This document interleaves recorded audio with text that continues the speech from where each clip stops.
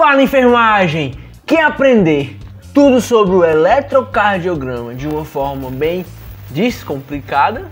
Pois fica até o final desse vídeo porque no vídeo de hoje eu vou te ensinar de um jeito bem fácil a introdução ao eletrocardiograma. Certo? Se você acha que o eletrocardiograma é um bicho de sete cabeças, olha, você vai mudar esse pensamento hoje. Porque eu vou te provar que o eletrocardiograma não é tão difícil assim quanto você pensa de ser compreendido, certo? Então, se você já gostou do tema dessa aula, se você gosta do sistema cardiovascular, do eletrocardiograma, então deixe logo seu like nesse vídeo, se inscreva no canal e compartilhe esse vídeo com seus amigos enfermeiros, beleza? Eu sou Rivo Salles Seja bem-vindo ao Descomplica Enfermagem. Dessa vez falando sobre o eletrocardiograma. Vamos para a telinha. Muito bem, a aula de hoje é sobre uma introdução ao eletrocardiograma. O primeiro passo para entender o eletrocardiograma é nós entendermos a anatomia e a fisiologia do coração. Nós podemos dividir o coração no lado direito e no lado esquerdo, esquerdo e no lado direito. O coração é composto por quatro cavidades. Como a gente pode ver, as cavidades superiores são os átrios e as cavidades inferiores são os ventrículos, certo? Os átrios são os locais onde o sangue vai chegar no coração e os ventrículos são responsáveis por ejetar o sangue do coração, certo? O que, é que vai acontecer? O sangue vai chegar aqui no átrio direito, através da veia cava, um sangue venoso, rico em gás carbônico, certo? Ele vai chegar aqui no átrio direito, vai passar pela válvula tricúspide, certo? Válvula tricúspide, e vem para o ventrículo direito. Daqui ele vai sair por uma artéria chamada artéria pulmonar e vai para onde? Para os nossos queridos pulmões, exatamente. Vai para os pulmões. Lá acontece a hematose, há uma troca gasosa entre o CO2 e o oxigênio. E esse sangue que estava venoso, agora chega o sangue arterial rico em O2, certo? Esse sangue rico em O2 chega no átrio esquerdo através de uma veia chamada veia pulmonar. Chega no átrio esquerdo, atravessa aqui a válvula mitral e vem para o ventrículo esquerdo. E daqui ele sai para a horta e vai levar esse sangue oxigenado para todo o coração, certo? O que é que vai acontecer? Acontece o movimento de sístole e diástole. Sístole é a contração, diástole é o relaxamento. Os dois átrios entram em sístole, ou seja, eles contraem ejetam o sangue para os ventrículos e quando os átrios contraem, os ventrículos relaxam. E quando os ventrículos contraem, os átrios estão relaxados, certo? É sempre alternando. O átrio contrai, o ventrículo relaxa, o ventrículo relaxa, o átrio contrai e fica nesse vai e vem, certo? Mas, afinal, o que diabos é um eletrocardiograma? Muito bem, o eletrocardiograma é uma descrição da condução elétrica do coração. Exatamente. É como se eu pegasse uma caneta, literalmente, uma caneta, e analisasse, monitorasse o feixe elétrico que percorre no coração. O eletrocardiograma nada mais é do que isso, uma monitorização do feixe elétrico cardíaco, certo? E aqui a gente consegue ver, você pode estar, Ivo, não estou entendendo nada, mas até o final dessa aula você vai entender. Você sabe que o eletrocardiograma ele acontece nessas linhas, tem essa, essa folhazinha amarela é rosa, na verdade, né? tem essa linha rosa cheia de quadradinhos. O que, que esses quadrados significam? Vamos lá. Esses quadradinhos, eu tenho uns quadrados pequenos, como você pode observar aqui, e nós temos também uns quadrados maiores, certo? Esses quadrados pequenininhos, eles têm um milímetro, certo? Eles têm uma distância de um milímetro por um milímetro. E o que, que vai acontecer? No eixo horizontal, é o eixo que está relativo ao tempo. Isso aqui, ó, horizontalmente, equivale a 0,04 segundos, beleza? E verticalmente, essa distância daqui para cá equivale a 0,1 milivolts, certo? Por que, que isso é muito importante? Porque eu vou entender se o feixe elétrico do coração está no tempo adequado e na voltagem adequada.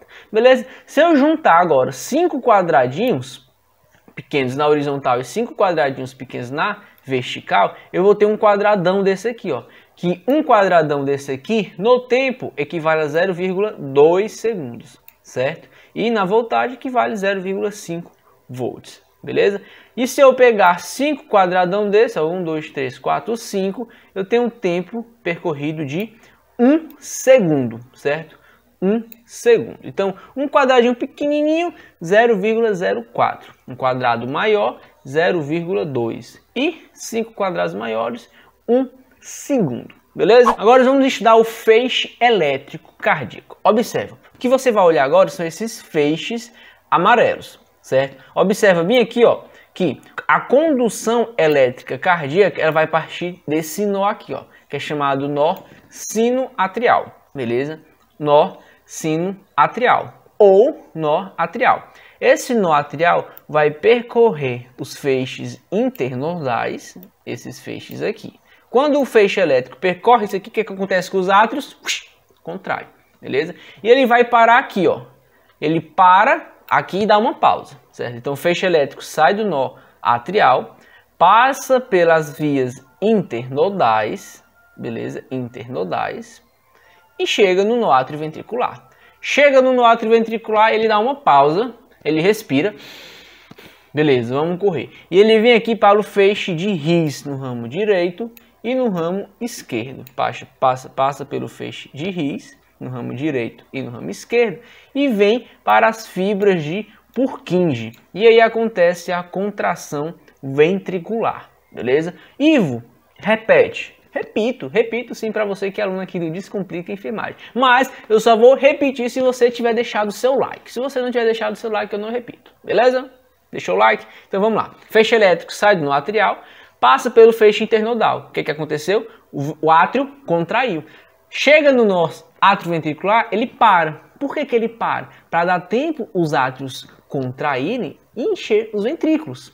Beleza? E aí, a condução que estava parada por milissegundos ali no nó atrioventricular passa pelo feixe de His, pelas fibras de Purkinje e contrai o ventrículo. E é assim que funciona o feixe elétrico cardíaco, certo? É muito importante você lembrar cada nomezinho desse daqui. Beleza, galera? Muito bem. E, muito provavelmente, você já viu isso aqui em algum lugar da sua vida, certo? E o que, que isso significa? Vamos lá. Nós temos aqui uma onda P, uma onda P de primeiro.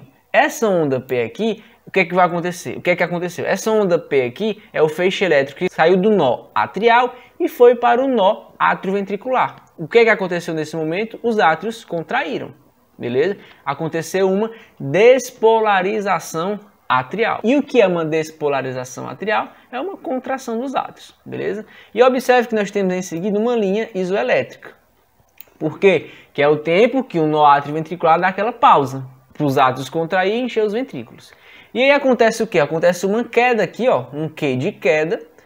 Acontece um aumento, um R, que é da montanha russa, e depois tem uma queda súbita, que tem aqui o S, beleza? E o que, é que acontece nesse momento aqui? Acontece a despolarização ventricular. E o que é uma despolarização? A despolarização é a contração ventricular, beleza? Então, nesse complexo aqui QRS, de queda montanha-russa e queda súbita, temos a contração ventricular. Temos aqui um feixe elétrico e temos aqui a onda T, a onda T de término, que é essa onda T, ela é a repolarização ventricular. E o que é a repolarização ventricular? É o relaxamento dos ventrículos. Aí você pode estar se perguntando, beleza, Ivo, e cadê a repolarização atrial? A repolarização atrial acontece aqui, ó, dentro desse complexo QRS. Beleza? Isso aqui é o eletrocardiograma normal. Você pode já fechar esse vídeo e terminar agora que você já aprendeu o que, é que significa cada um. Porém, você está no Descomplique Enfermagem, então vamos aqui dar nomes aos bois e vamos estudar de verdade. Isso aqui chama-se onda P. Onda P. Esse tracinho reto aqui chama-se segmento PR. Segmento PR. Se eu juntar o início da onda P com o final do segmento PR, a gente vai ter o intervalo PR, beleza? Isso aqui é o complexo QRS, beleza? E essa feixe elétrica aqui é o segmento ST. Segmento é sempre um traço reto. E intervalo é uma onda mais um segmento, certo? Temos aqui a onda T. Se eu juntar o início do segmento ST e o final da onda T, nós vamos ter o intervalo ST, certo? Muito bem, show de bola. Se eu pegar aqui ó, o início da onda Q a, e até, até o final da onda T, nós vamos ter o intervalo QT, beleza? Show de bola, pessoal. E aí vamos falar um pouquinho sobre as derivações, as derivações do coração. O que é que acontece? Para nós monitorarmos esse feixe elétrico do coração, é colocado vários monitores, várias câmeras, entre muitas aspas, que não são câmeras, são eletrodos, certo? São eletrodos que vão monitorar o feixe elétrico cardíaco. Vamos supor que são câmeras. Para quê? Para monitorizar a condução elétrica do coração. Se esse feixe elétrico se aproxima da câmera, o que, é que vai acontecer? Ela tende a ser positiva, então ela dá, ó, uh, sobe beleza? Se ela se afasta daquela câmera, ela uh, diminui, certo? Então essas são, as, são os, as derivações. E a gente tem as primeiras derivações que formam o triângulo de Einthoven, que é a D1, D2 e D3. E em seguida ele trouxe mais três derivações, que é o AVR, AVL e AVF, certo? Esse daqui é a derivação AVR, aqui é o AVL right e left, certo? Por isso R e L, que é right é direita em inglês e left é esquerda em inglês. E o AVF, que é apontado para o chão, F de foot, que são os pés. E temos as derivações precordiais, que elas vão pegar um plano transverso do coração, que anterior e lateralmente ela é, vai de V1 até V6, beleza? Que ela vai permitir uma análise das paredes anteriores e laterais do coração. Lembrando que é possível também ter aqui o V7, V8 e V9 para fazer uma monitoração da parte posterior do coração, beleza? E aqui está o posicionamento de cada eletrodo que é colocado no coração. Aqui os eletrodos precordiais, as derivações precordiais. Aí você dá um print aí e vê onde é que fica cada um, que não é o objetivo dessa aula, a monitorização, sim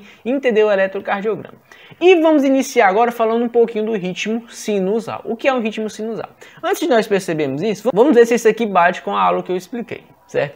Observa, temos aqui uma onda P, temos aqui ó, uma quedinha, uma montanha russa e uma queda súbita, temos um momento isoelétrico e temos uma onda T de término completo. Então, obedeceu tudo o que eu quis dizer, certo? Então, o que é um ritmo sinusal? Ritmo sinusal é o ritmo normal do coração, normal, fisiológico. Como é que é esse ritmo fisiológico? Ele é originado do nosso sinusal, óbvio, né? Tem que vir do nosso sinusal, depois para o nó ventricular, e ele é conduzido aos ventrículos uma velocidade entre 100 e 200 milissegundos, ou seja, tem que sair do nó atrial e chegar ao sistema de risco por Purkinje entre 120 e 200 milissegundos. E em sua normalidade, o que, é que a gente tem que ter? Tem que ter uma onda P positiva em D1, D2 AVF e a onda P negativa em AVR. Como assim? Vamos ver aqui. Vamos analisar se esse eletrocardiograma ele é um ritmo sinusal ou não. Vamos lá. Onda P, a gente já viu, conhece, conhecemos a onda P. P positivo é quando dá para cima, certo? P negativo quando está para baixo. Em D1, aqui temos as derivações de D1. D1, D2, D3, AVR, AVL, AVF e V1, AV6. Cadê a onda P aqui, ó? Onda P tá bem aqui. Onda P, onda P, onda P tá positiva aqui, ó. Onda P positiva, onda P positiva, onda P positiva, beleza? Em D2, olha só, onda P positiva, onda P positiva, onda P positiva. Em AVF, o AVF está aqui, ó, onda P positiva, onda P positiva. E a P negativa em AVR. Observa que aqui, ó, onda P está negativa, ó, onda P está negativa. Então, se a onda P está positiva em D1, D2 e AVF, está negativa em AVR, a gente vai dizer que esse é um ritmo sinusal. Beleza, galera? Show de bola! Se você quer aprender um pouco mais sobre o eletrocardiograma, vou deixar aqui um link na descrição desse vídeo sobre um curso de eletrocardiograma que recomendo para você, para você destrinchar e aprender tudo sobre o eletrocardiograma. Beleza? Então, se você tiver gostado do tema dessa aula e esse vídeo tiver te ajudado, por favor, se inscreva no canal e deixe o seu like, beleza? Lembrando que se você quiser receber o PDF desta aula, é só deixar nos comentários eu quero que eu vou enviar o PDF para vocês. Show de bola, galera? Eu sou Nivo Salles. Hoje você aprendeu a introdução do eletrocardiograma aqui no Descomplica Enfermagem. Valeu!